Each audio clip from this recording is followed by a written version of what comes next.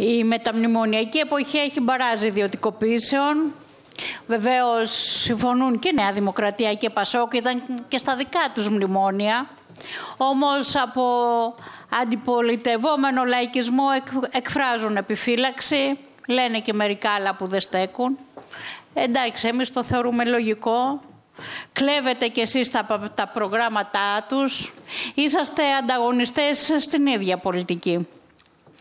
Βέβαια ε, θα ακολουθήσουν και μαζικές κατασχέσεις και πληστηριασμοί. Αυτό εξυπηρετεί και το νομοθέτημα για τα κόκκινα δάνεια που θα έρθει ως τροπολογία σε αυτό το νομοσχέδιο. Ο σχεδιασμός είναι απαράδεκτος, το καταγγέλουμε, επιβάλλεται τάφους σιωπή, δηλαδή ούτε σε επιτροπές θα συζητηθούν τα κόκκινα δάνεια, ούτε ενδιαφερόμενοι, ούτε ειδικοί θα έχουν τη δυνατότητα να μιλήσουν, είναι ντροπή.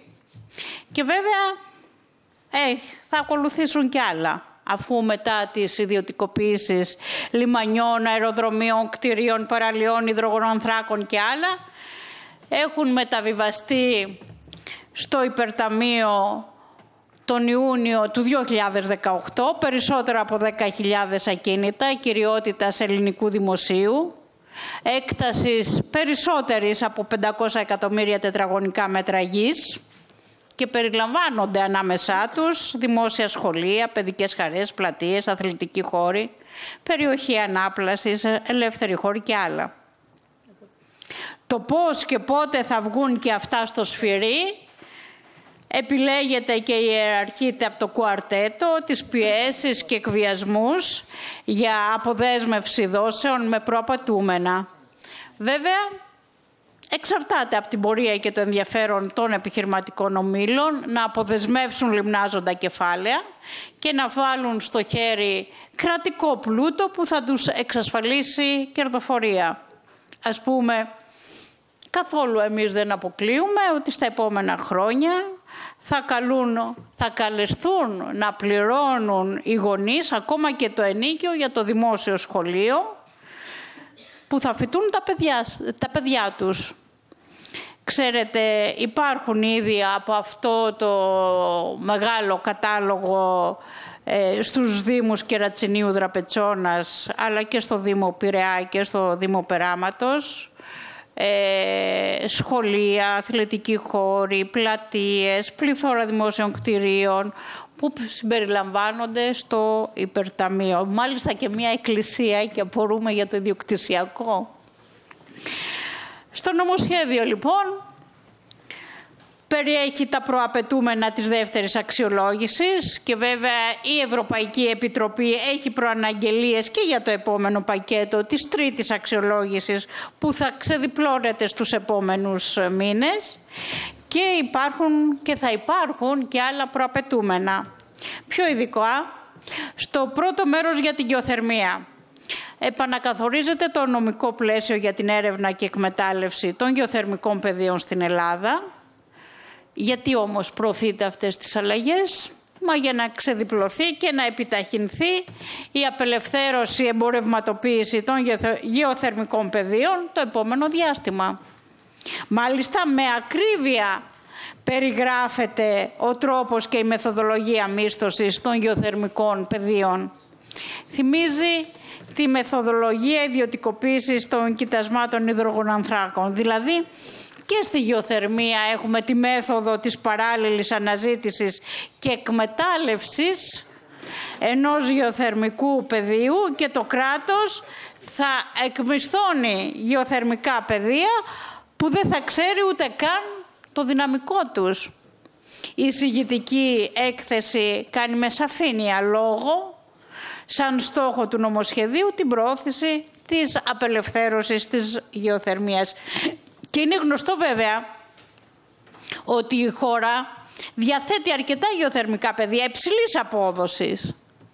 Και ήδη από ό,τι λέγεται και γράφεται υπάρχουν αρκετές αναφορές για σειρά διερευνητικών επαφών μεταξύ επιχειρηματικών ομίλων και εκπροσώπων τοπικών αρχών στη Βόρεια Ελλάδα και σε νησιά του Αιγαίου για την επίσπευση των επενδυτικών σχεδιασμών.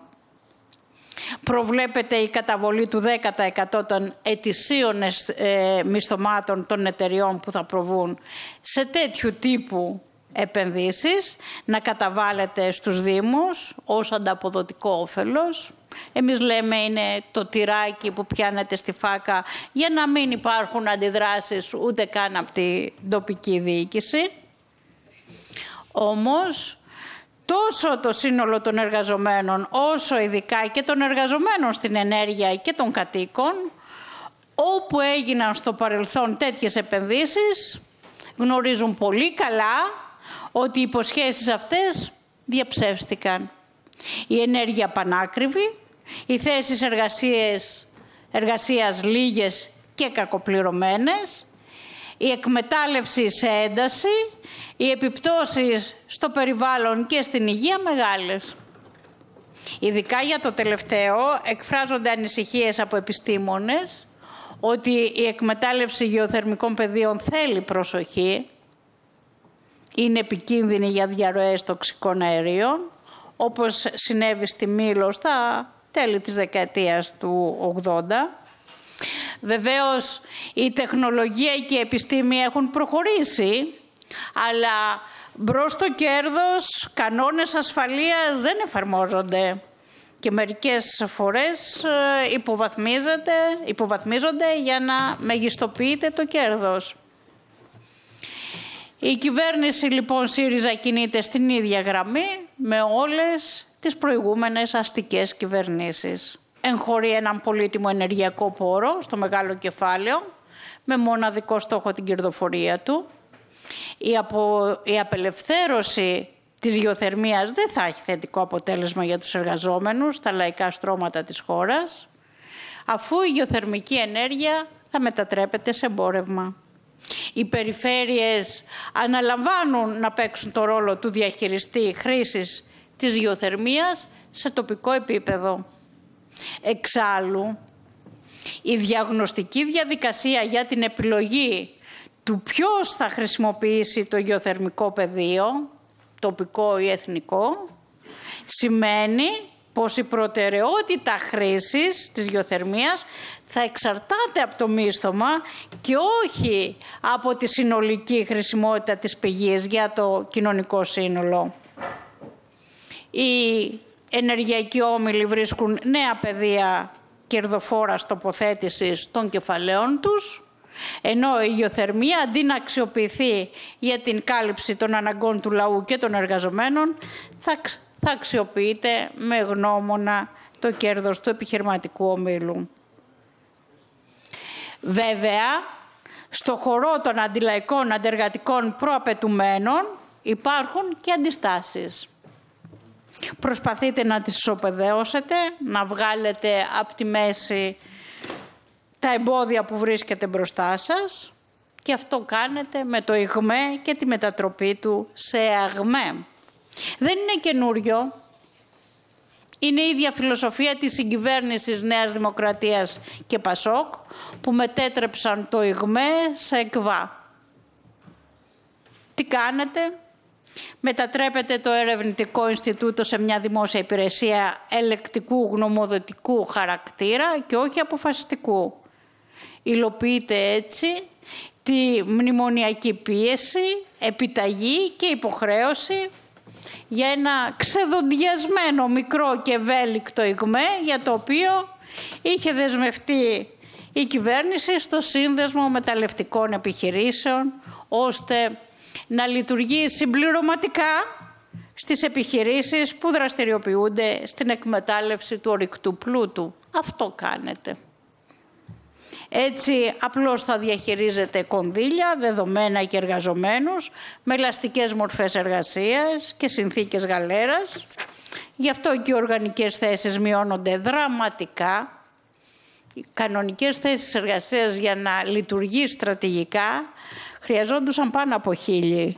Τώρα βάζετε 220, όταν μάλιστα στο προηγούμενο επιχειρησιακό σχέδιο του Οικονομικού Πανεπιστημίου Αθήνας πρόβλεπε τουλάχιστον 530 οργανικές θέσεις και άμεσες προσλήψεις τουλάχιστον 130 εργαζομένους. Ήδη επειδή τη δουλειά την προετοιμάζατε όλες οι τελευταίες κυβερνήσεις, φροντίσατε η διοίκηση να περιορίσει το προσωπικό σε μόλις 185 εργαζόμενους με, με μέσον όρο ηλικίας είναι 59-60 χρονών.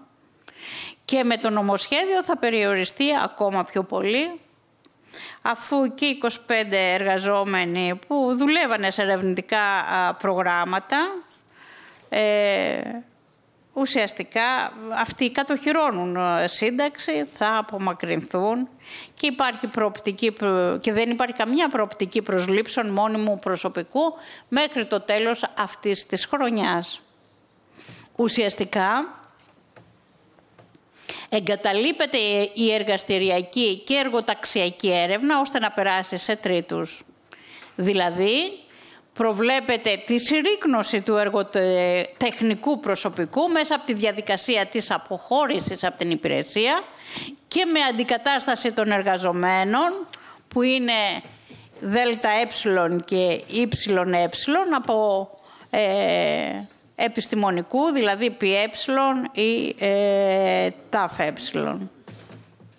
Αυτό τι σημαίνει, ότι δεν θα έχει αυτοτέλεια στη λειτουργία του από διοικητικό και τεχνικό προσωπικό. Επομένως και η απορρόφηση των 20 εκατομμυρίων ευρώ από τα ΕΣΠΑ θα γίνει με αναθέσεις εργασιών σε τρίτους και εγχωρήσεις εργασιών σε γραφεία παροχής υπηρεσιών. Αυτό θα γίνει. Και βέβαια προβλέπεται η μεταφορά της ακίνητης και κινητής περιουσίας του ΙΓΜΕ που υπολογίζεται σε πάνω από 40 εκατομμύρια ευρώ στο Υπουργείο Οικονομικών μέσα από διαδικασία εκαθάρισης που δημιουργεί πάρα πολλά ερωτηματικά, αυτά έχουν εκφραστεί και μερικοί μιλάνε για σκάνδαλο. Ιδιαίτερο ενδιαφέρον όμως έχει και η εκαθάριση της ακίνητης περιουσίας, του αξιόλογου βαρέως εργοταξιακού εξοπλισμού και του ιδιαίτερα σύγχρονου εργαστηριακού εξοπλισμού του. Είναι γνωστό ότι τα εργαστήρια είναι σύγχρονα και πιστοποιημένα. Τα έχετε όλοι σας, όχι μόνο οι σημερινοί και οι προηγούμενοι, με ελάχιστο προσωπικό. Αυτοί οι άνθρωποι με πείρα δεκαετιών δεν έχουν που να παραδώσουν την πείρα τους και τώρα αυτά θα στραγγαλιστούν.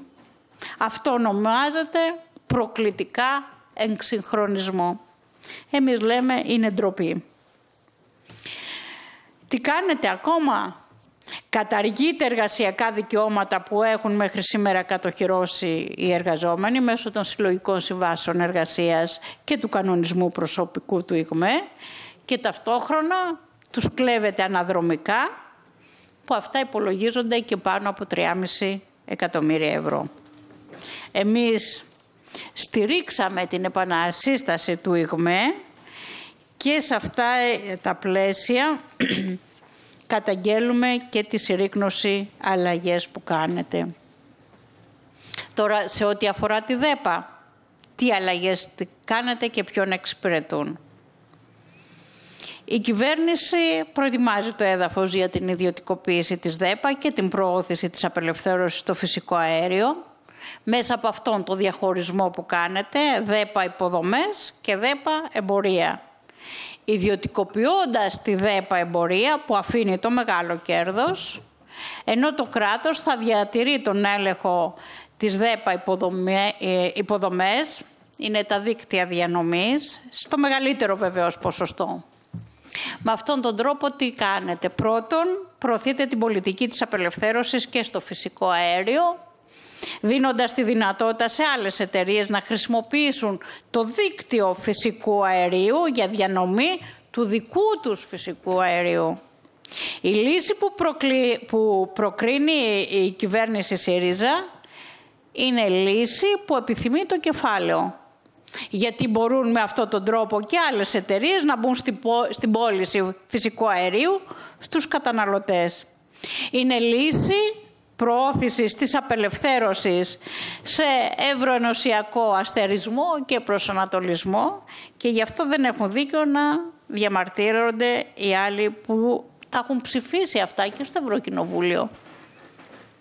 Δεύτερον, ετοιμάζεται η ιδιωτικοποίηση της ΔΕΠΑ εμπορίας που θα οδηγήσει σε νέες αυξήσεις στο φυσικό αέριο, στη λαϊκή κατανάλωση. Και τρίτον, σε πρώτη φάση, το κοστοβόρο δίκτυο παραμένει στον έλεγχο του κράτους που θα πρέπει να το συντηρεί, ενώ οι προσοδοφόρες πωλήσεις ιδιωτικοποιούνται. Η πείρα από την απελευθέρωση αποδεικνύει ποιος χάνει και ποιος κερδίζει. Οι αλλαγές θα φέρουν αυξήσεις στις τιμές, επιδίνωση των συνθήκων ασφάλειας του δικτύου και τεράστια κέρδη στους επενδυτές. Βεβαίως έχετε προετοιμαστεί πολύ νωρίτερα. Αυτό φαίνεται ότι χρησιμοποιείται σε οργανικές θέσεις εργαζομένους μέσω εργολαβιών που αποτελούν την πλειοψηφία στις εταιρείες φυσικού αερίου.